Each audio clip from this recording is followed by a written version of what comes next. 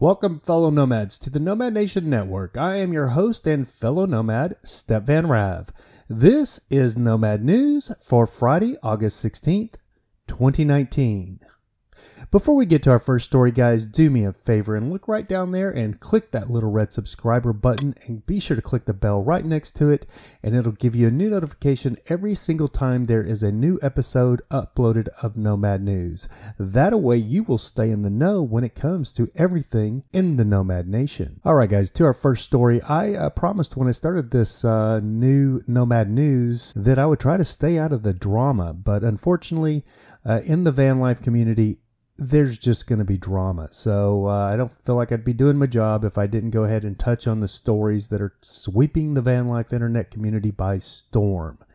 And uh, with that being said, on to our first story, which is none other than in the red corner, you have Camper Van Kevin, and then in the blue corner, you have Van Life Sheldon's Travels. Now, Camper Van Kevin, I have never met Camper Van Kevin. I actually saw him this year at RTR from a distance walking his dogs, but he looked like he was pretty preoccupied in uh, walking his dog, so I didn't approach him. On the other hand, Van Life Sheldon's, I actually know Mike and Stephanie, and I met them at RTR this year, and we actually hung out with our mutual friend Paul Barker, Bread Trucker, uh, and Chelsea Fakari, and uh, some of us other uh, other uh, nomads that were there this year at RTR. So I've I have actually hung out with Stephanie and Mike on a few different occasions. I was actually working uh, on a TV show. For those of you that don't know, I work here in Los Angeles in the TV, film, and entertainment industry. I was working till six o'clock this morning on a TV show on HBO called Westworld. So yeah, that is my domain and where I work. And um, about two and a half, three months ago, I was working on a TV show for Fox called 911. And at that time, we were out on the Venice Boardwalk in Venice Beach, and we were filming an episode or a, a scene out there with some fire trucks, and uh, we had a stuntman up in the top of a palm tree. And lo and behold, no, uh, I'm sitting there with my mind preoccupied with work and I look up and lo and behold there is Mike and Stephanie. They are just they just happened to be out on the Venice boardwalk that day because they were in Southern California and they were doing their YouTube video. So I ended up making a cameo or special guest appearance in that video. I will try to find that scene possibly, and if I do, I'll roll that right now. Well, looks like the fire department's here doing something. Hope there's not a big emergency here on Venice Beach.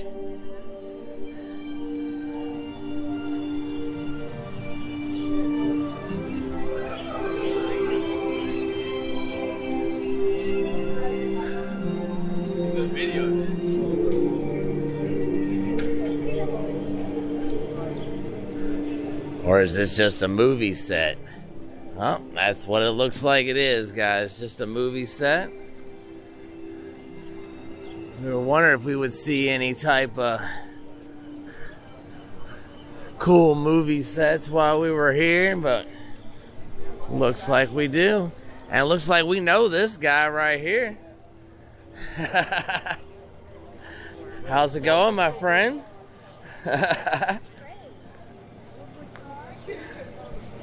Well, guys, we'll get back at you in a minute.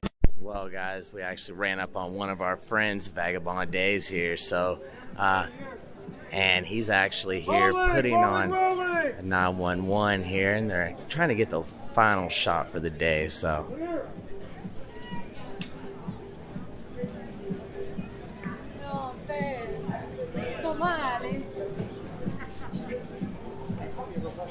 My dog is Camera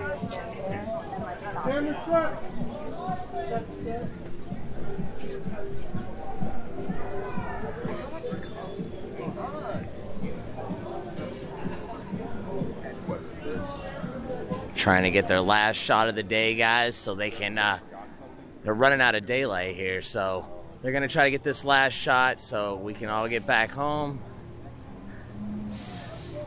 And they can finish their day. We're looking at in the trees.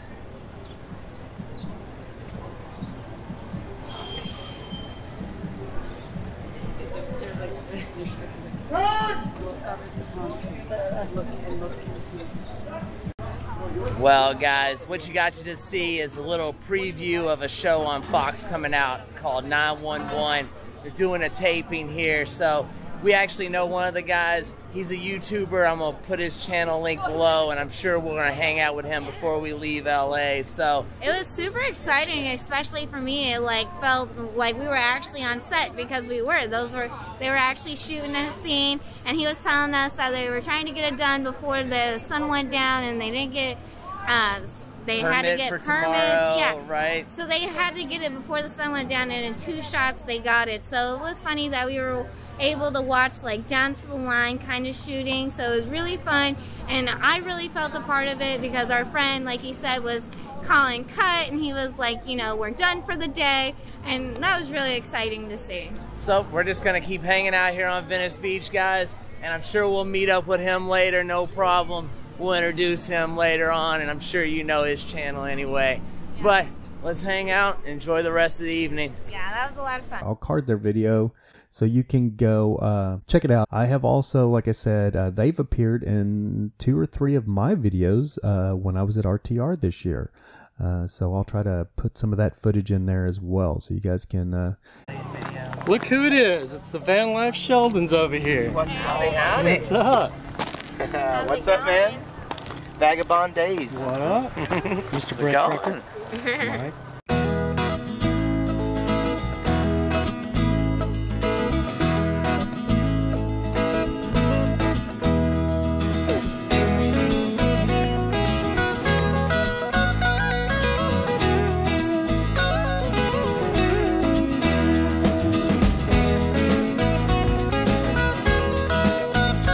see that I do personally know them. I do consider them friends of mine. Uh, I don't have a lot of personal nomad friends that I've actually met and hung out with. I have like a handful, or I, I have like I can count on one hand my best uh, van real van life nomad friends. But they are one of those that are on my hand, and um, they've never been anything but uh, just genuine, sweet, and nice to me. So I don't know uh, where all this negativity about them is coming from. Um, now I know that uh, I was told at RTR this year to be careful, possibly approaching Camper Van Kevin because he's not the most approachable in a large setting like that. That was all hearsay though, because I didn't approach him, uh, so I don't know if that's true. Uh, I've watched Camper Van Kevin for probably five or six years on YouTube. A long time ago, um, you know, I started watching his videos, and I kind of fell out uh, watching his videos as other nomads started uh, started their YouTube channels, and my interest changed to other nomads that were a little bit closer to myself and what I was doing, which I think a lot of us do. Uh, but uh, I still have nothing bad to say about Camper Van Kevin because I do not know the guy. Uh, but I do know that this drama that is going on right now between Camper Van Kevin and Van Life Sheldon's Travels is reminiscent of the stuff that I went through, or you know, that I saw when I was in high school, with the jocks and the popular kids sitting at one table, and then you had the nerds and the geeks at another table, and then you had the stoners and the rock and rollers at another table, and you know, if one of them intermingled and over to another table, then somebody might get jealous or get mad, and you know, this is uh this is what we deal with in the van life community unfortunately. It's not just the van life community it's the youtube community. Anytime you have people that are vying for the public eye uh, i think people can get their feelings hurt or you know think that somebody's uh, trying to maliciously do something to them. And it you know in the van life community it really turns into drama. I've seen it time and time again uh, I will say with this Patreon person that is uh, evidently was helping sponsor the Van Life Sheldon Travels uh, new rebuild for their van. I don't know where this lady's coming from. Uh, I'm not going to mention her name. Uh, there's a couple other channels, or if you saw Stephanie's apology in Van Life Sheldon's Travels, she actually mentions her name. I'm not going to mention her name. But I will say, uh, if you look, I don't really. I have a Patreon page. I don't have one Patreon. I've had the thing for probably two years, but I've never once uh, promoted the thing because I feel like uh, if you do that, you're kind of selling your soul to uh, whoever your Patreons are. Uh, they're gonna, you know, if they're donating money to you every month, they're gonna think that they are um, that that that donation of money or funds or anytime somebody, you know, there's an old adage in life: nothing in life that's for free, and that is true. It doesn't matter if you're a van lifer and trying to live free. Nothing in life is for free, and when you have Patreons that are sponsoring you, they're gonna feel like they have some kind of control over you, I do believe, and they uh, have a. They should be able to, you know, put in their two cents, and their two cents should mean more because they're actually paying their two cents. You know what I mean? So when they give you a suggestion on something they want you to do, or you know, they really expect you to do that. And I just want to be independent, and I want to be free, and I want to do what I want to do. I don't want to be fighting with people or hurting anyone's feelings because uh, they're my Patreon and maybe they're giving me a hundred dollars a month uh, in sponsorship money for my YouTube channel, and uh, they want me to talk like this or say this or have this mic or you know set up the angle of the camera this way. You know, I, I want to do this. You know, whether it fails or whether it doesn't, whether it fails or whether it flourishes, I want it to be my brainchild and uh, I'm not uh, going to sell my soul to anybody. Now, granted, for us nomads that are having to work for a living, and uh, we hear about uh, our other nomad uh, people in the community that are bringing in, you know, fifteen to two thousand dollars a month uh, from their Patreon page, then you know that sounds very appealing um, because if i can be honest with you if i've made that kind of money uh, just on my patreon i would be able to really cut back on a job and I think that's what most of uh, the van lifers want to do. I have a job. I'm in my office right now. Um, to give you a an example of my job, so yesterday I worked here. Yesterday, today's Friday, so yesterday I worked Thursday. I came into my office here, and I worked from 6:30 a.m. until 3 p.m. And then at 3 p.m. I knew I had a I had a 6:30 p.m. call time on Westworld. So I left my office here at 3 p.m. and went and slept for a couple hours. And then I was on the lot in downtown LA to work on West Westworld at 6:30 p.m. and then I worked on Westworld till uh, 6 a.m. and then I got to bed about 9 a.m. or 9:30 a.m. this morning and I literally slept till about 5 p.m. and I woke up and I came back into the office and here I am trying to get an episode of Nomad News going. Uh, I've been having a lot of technical difficulties, which hasn't made that the easiest with my uh, with my sound, but hopefully we're getting that those things worked out. But back to Van Life Sheldon's travels and uh, Camper Van Kevin. Yeah, so I know they're all meeting up there at Scott and Terry's uh, at Destination Open Road, and uh, I guess uh, there was Rambling Ramblin' Rome, rambling without a G. I guess she was meeting up there as well, and from uh, you know what this Patreon person said uh, that is evidently a Patreon of Camper Van Kevin. Uh, she's a Patreon of Ramblin' Rome, and she's a Patreon of uh, Mike and Stephanie with Van Life Sheldon's Travels. So if you look at the common denominator between this drama, there's drama between Camper Van Kevin and Van Life Sheldon's Travels. There's drama between Ramblin' Rome and Camper Van I mean, and Van Life Sheldon's Travels.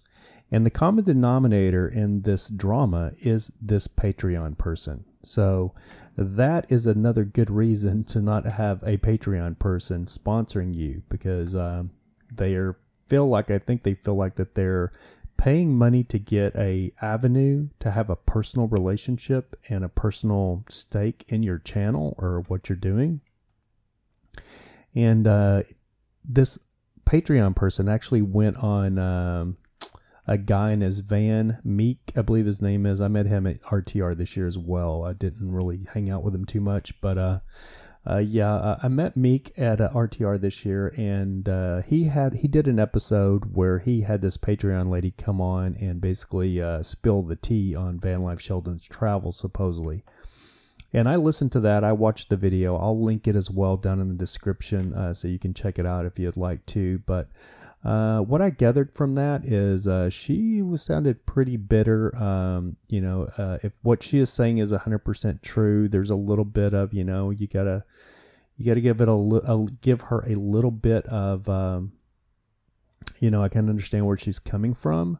By no means, if you're going to give somebody money uh, to do something, then you should not, you know, just give the money. Don't uh, expect to be, you know, she said she was doing it for tax credit purposes as well. So it's not like she wasn't getting anything out of this deal. If you're going to give the money, just give the money. Don't worry about what the people are doing with the money. One of her major complaints were that Mike and Stephanie were doing live streams and not telling the truth and uh, telling that they were using their own personal money and stuff like that. And she was getting butthurt about it because they weren't giving her credit, but she wants to remain anonymous. So uh, it sounds to me like the common, denomina- common denominator of this drama is that Patreon person. And like I said, I know Mike and Stephanie personally, and they've never done or said anything negative about me. They've just always been sweethearts. So listening to this Patreon person, she sounds like the type of person that is just ate up with drama. Now, evidently, uh, if you watch Stephanie's um, from Van Life Sheldon and Mike, if you watch their video about um, what was going on, uh, their explanation video. If you watch that video, then you know that Stephanie actually says the lady's name and gives her YouTube channel. Now, I didn't go and check any of that out. I didn't look that in depth into it. But, uh, you know, it, it is what it is. I think I'm just going to leave it at that. Uh, I still feel like Stephanie and Mike are good friends of mine. I think this whole thing will blow over.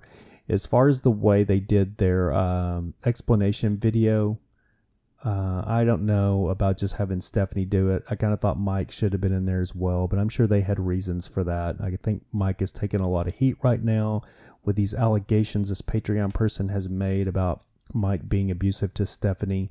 Look, I saw them on for a week at RTR. I never seen anything anything that would give you, you know, you never know what's going on behind closed doors, but I never saw anything like that out of Mike. And uh, Stephanie seemed to be just as happy as she could be being with Mike. And those two live in a very small, what is it, a ProMaster van, you know, so you got to be pretty close uh, to to be able to spend that much time together in that small a space. And they do it very well. Uh, I would also like to say that they they hustle hard on this YouTube thing, man. They go out and they go out of their way and they travel anywhere and everywhere where they can meet other nomads to help them grow their YouTube subscriber base. And you know, because uh, they're living off this YouTube thing, so I totally understand that. I'm not hating on them at all. You know, Camper Van Kevin's been doing this a long time. He's got a huge following, so uh, but he did the same thing. You know, and uh, the problem is, is these bigger YouTubers they really, you know, it it doesn't matter how humble they act like they are. A lot of times, what you find out when you meet them in person, they're not near as humble as they portray themselves uh, on YouTube. I did want to say that I did reach out to uh, Mike and Stephanie because I do have Mike's number. You know, I have their number. They are personal friends of mine.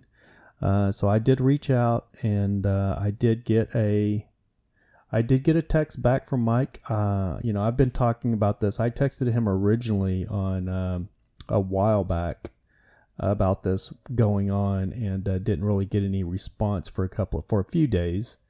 And uh, you know and i tried to make a video about this a couple of times and then ended up just scrapping it because i didn't know enough about it or i just didn't feel like i was you know i wanted to be uh, have a little bit more see where this went. So um, so anyway, I got a text back from Mike, and he said, uh, "Sorry, I was trying to be PC about this stuff, but we have to make our own video." And that's all I got. I said, "Okay, no worries. Uh, I made a video today for Nomad News, but decided to scrap it until I need more details. Would still love to get you on the show if you are interested. If not, no worries." And uh, my invitation, Mike, still is uh, there to you and Stephanie. if you would like to come on the show and uh, give your side of the story. I would love to have you guys on and uh, give your side of the story because there's always two sides to every story. That uh, you know goes to Camper Van Kevin as well. If you'd like to come on the show and uh, give your side of the story, but at this point, I think it should just uh, we should let it blow over and you know it won't be another it won't be a week until there'll be some other drama that somebody's you know all upset about. So anyway on to our next story which is going to be uh, i just basically talk about what people are asking me about. And everybody's been asking me about the van life sheldon's travels and the camper van kevin thing. And the other thing people have been asking me about is dave 2d in the comments. They've been letting me know that dave 2 dave 2d uh, vlogs has uh, privatized his video category once again. He did this back uh, about a month ago. Then he started slowly releasing some of his old videos for people to see, and then now he's re-privatized them again, which makes it look like he's deleted them, but he actually hasn't deleted them. He's just set them to private where you can't see them, where there is no video catalog. When you go to his channel, it says no content. Now there is like two or three live streams that he's had with his new puppy I think her name is Love or something like that. What is her name? I can't remember. Leave me a comment. Let me know what Dave's dog, his new puppy's name is. I think it's Love. That's a good. That's a really good name for a. I think she's an Australian Shepherd or a Blue Heeler for a cow dog. She's actually a cow dog. I grew up with those dogs. Actually, my dad has those dogs uh, when we were on the ranch. Uh, let's see, what is she? She is a Blue Heeler. Yeah, and uh, she's a cow dog. They're cow dogs. Very, very smart dogs. Uh, and Dave's dog is adorable. But uh, as far as him deleting his videos or setting his pri- his videos back to private, uh, I just feel like uh, you know Dave's probably going through some transition stuff. I think uh, he's got you know he's got this huge Patreon thing going too. I know Dave's uh, experiencing some heat and some hate in the YouTube community. Uh, from people making uh, some negative comments about him as far as being alt right and Mr. Insensitive, and you know, uh, I've seen some videos popping up in that kind of regards, and you know, that's one of those things you're going to deal with when you put yourself out there on the YouTube space is um, people that just don't agree with you at all and are going to bash you. And I think Dave's going through that now. And uh, from what I heard through the grapevine, is he may be looking at basically uh, trying to support himself with his art. You know, evidently he's a pretty good artist, and I think he stepped back and probably concentrating on the art because even though he's grown his YouTube subscriber base to like 30 or 40,000, uh, there's not really much gratitude in this YouTube thing. Mostly what you're going to get is a lot of people that's going to hit you with a lot of negativity. Uh, and the hardest part about it for us people that are doing this YouTube thing is, uh, you know, you can have a hundred beautiful supportive, encouraging comments, and it's that one negative troll that just like stabs you right here. And then it makes you regret even doing the video, and you're thinking, man, I shouldn't even be messing with this stuff. It's just not worth it. And, uh, you know, these these YouTube videos are free. You know what I mean? It's not like you're paying. I guess if you're a Patreon, you are paying. So I think maybe that's why Dave you know, uh, maybe reevaluating what he's doing. And I completely understand that. All right, guys, now let's touch base on a story that we talked about uh, previously on an episode of Nomad News. And that is the uh, cease and desist letter that the Nomad Movement, the YouTube channel, the Nomad Movement, uh, received from the apparel company, Nomadic Movement. Um, in their latest, in one of their latest videos, they actually uh, touched base on this and said, uh, gave a follow up of what was going on. And basically, uh, one of the positive, things, let's talk about some positive things about being a YouTuber now. So, uh, one of their fans or one of their subscribers that actually watches their channel actually reached out to them, and he is actually an attorney named Peter. And he's actually built, building out a van himself uh, airplane going over, guys. We're pretty close to LAX uh, airport, so it makes it kind of difficult to do these Nomad News videos because the airplanes are landing all the time. But anyway, um, yeah, so Peter reached out to them, and he is a propriety lawyer, I guess. That could be the wrong word, uh, but he. Uh, I guess specializes in intellectual property, and he is a subscriber of theirs and a fan of theirs, and is actually building out a van himself for him and his son because I guess he's a competitive surfer, snowboarder, or something like that. You'll have to go to the Nomadic Movements uh, channel and watch that video. I will link it down below or card it up here or wherever the card comes out so you can go watch their video in regards to this. Evidently, Peter reached out and uh, it's looking pretty positive that they're going to actually get to keep their name. uh, anytime you're ha- you have something like this go on, uh, seeking legal counsel is always advised. And uh, the great thing about the YouTube community is uh, they had somebody come out right away in support of them and wanting to help them. So uh, they linked Peter's channel in their description and gave him a shout out. Well, I'm going to link Peter's website uh, in the description as well because some of us other nomads may run into this type of thing and uh, need some legal counsel or advice.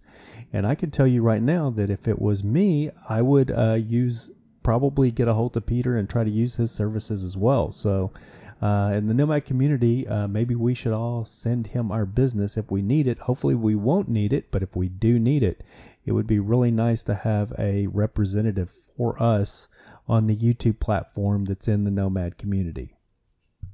And possibly Peter may be that representative, maybe that guy. Uh, we'll have to wait and see exactly how this transpires, what transpires, and how this uh, ends up. But as of right now, it's looking pretty positive. My last order of business here on Nomad, this episode of Nomad News, is this trend I'm really seeing now all of a sudden since we've have our new uh, van life queen bee, Jenelle Eliana. Uh, since she's uh, burned up the YouTube atmosphere um, with her first three videos, we're now seeing a trend of a lot of pretty uh, new van life girls. This is a new van life girl that uh, looked like she started her channel doing with a, an idea of doing fitness stuff, but now it has changed directions, and her last videos is been about van life. She has like a 3500 Sprinter, I guess, that she's built out. I'm not sure if it's actually her van. I'm starting to think that some of these pretty girls may be borrowing vans from uh, they're they're bar- borrowing their brother's raper van or something. No, I'm just kidding. Uh, you can tell it's her van, but um, she is living in a van. Her name is Shay Click. I like to give out small YouTubers. I like to give them a plug. I was one of her f- first thousand subscribers. She's already reached a thousand subscribers. I think her first or second van life video has done 16,000 views. So, just like any pretty girl on YouTube, she's come out of the gate on fire. Not a, not Jenelle Eliana fire, but she's doing very well, and I'm sure uh, she's a pretty girl. She's going to do very very well on the platform if she stays at it and keeps it going. So, uh, her name is Shay Click. I will link her channel down below if you'd like to go check it out.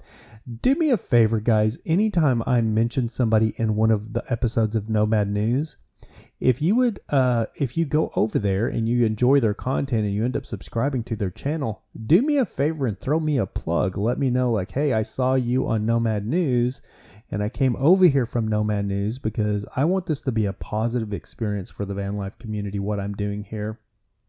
And I want these people to know that I'm talking uh, genuinely and I'm talking good about them and, and I'm not trashing them uh, by any means and uh, just trying to uh, help us all flourish. There's enough uh, there's enough good in this whole thing to go around for all of us, even though uh, we get hit with some negativity with the drama from from time to time. It's still mostly a positive thing, and that's why I do it because I enjoy it. So, another airplane. I don't know if you guys can hear these planes or not, but they go over like literally every five minutes. There's another plane going over to land at LAX. And to make matters worse, I have a train track right outside my window, my office window that uh, is so close when the train goes by, it literally shakes my office. So maybe one day I'll leave the camera rolling. I always have to cut. Maybe I'll leave everything rolling and let you guys try to hear the train noise when the train goes by. But uh, when it comes to doing this YouTube thing, I really could not have got. I love having a space, but it couldn't be any any more challenging doing YouTube videos in this space because uh, my office we there it's a garment manufacturing facility. So there's a heavy machinery and all kinds of sewing machines and everything you can imagine going that makes noise.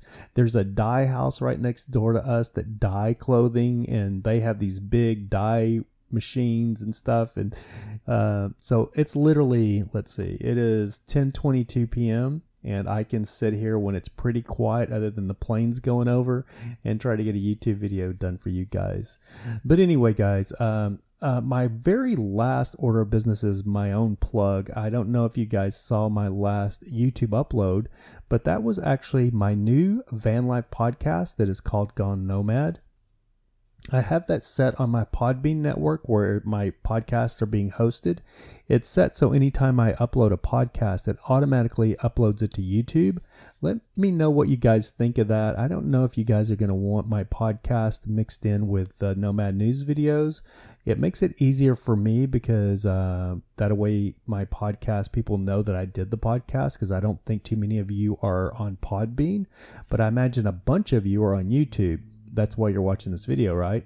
So um, they're just they're just going to be speaking podcast, no video with it. I may have some guests on in the future, and if I do have guests on in the future, I possibly will uh, do uh, video for those when I have guests uh, doing the podcast. But if it's just me talking about van life, there won't be any video. So um, I'm not sure if I'm going to keep them where they automatically upload to YouTube or not. I'm trying to make my mind up on that.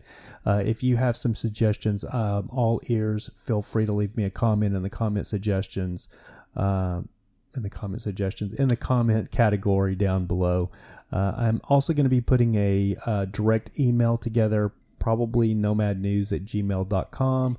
If I get that, it's going to be uh, down in the comments uh, below. And you can, if you need to send me an email, if you have a tip or if you have something I haven't talked about, if you know a great van life YouTuber that is very small, just starting out, and maybe they're not getting a lot of traction, uh, I'd love to give them a shout out, you know, and try to get them, help them, get them jump started. Even though my channel is really small, I'd like to, uh, you know, give them a shout out and let them know, uh, let everybody know that that's uh, they're another nomad in the community. Uh, I feel like there's other news channels in this nomad uh, space, but uh, it seems like those uh, channels just mostly concentrate on the larger the larger van life YouTubers that really don't need uh, any they don't need any plugs or they don't need anybody because they're bigger than all the news channel all of us news channels put together. So they really don't need anybody helping them as far as helping them grow. So I'm hoping I can, uh, if I can grow this thing to a large, to a large platform. Uh, my goal is always going to be to shout out small YouTubers like Shay Click here that just got started, or maybe even somebody that's been doing it for a long time that doesn't have a lot of traction yet. You know, uh, it's all about uh, you know helping the community and help people, helping people grow. For me, Anyway, guys, here comes another plane. So that's going to do it for this episode of Nomad News. Um, I thank you guys for watching. I read all your comments, so please comment down below. Let me know what you think of this new Nomad News genre I got going on. And don't forget, guys, if you can't be good, at least be good at it. Peace.